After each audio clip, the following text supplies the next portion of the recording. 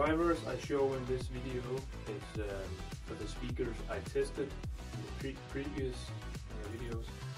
This is just to show that it might not be the same that is in your speakers because here you have three different speakers by the looks of it, but it's the same model. This is D5E, this is D5E, and this is D5E. They have different cabinets, all of them. Uh, this and this might look the same,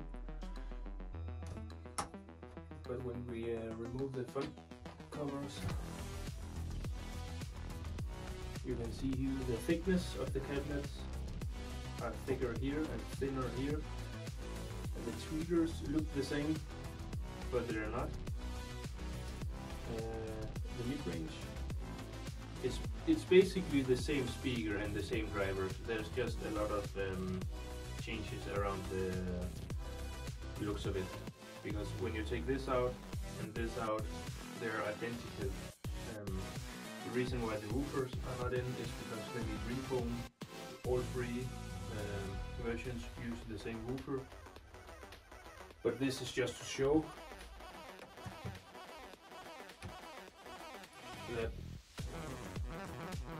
they're different. So when you're trying to find the right drivers for your speaker, just because they come from the model you have, it's not sure that it's original. You know what I mean? Um, and even if you have the same driver, this is from the DC series. If you look at the cone, uh, it's straight.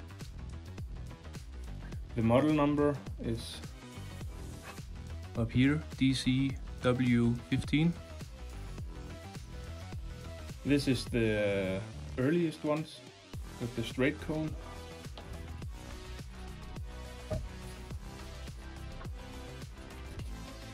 If you look at this one, there's the the curved cone.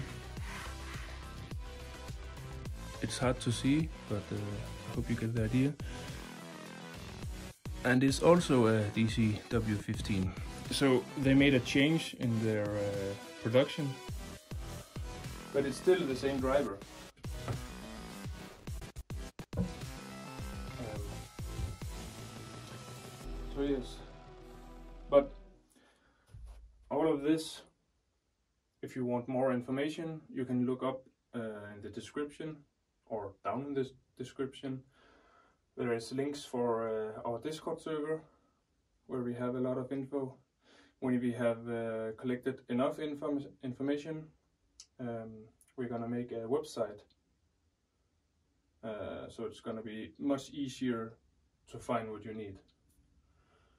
And the link for that is gonna be in the description too. Um, but yeah. I hope you find this uh, useful. See you later.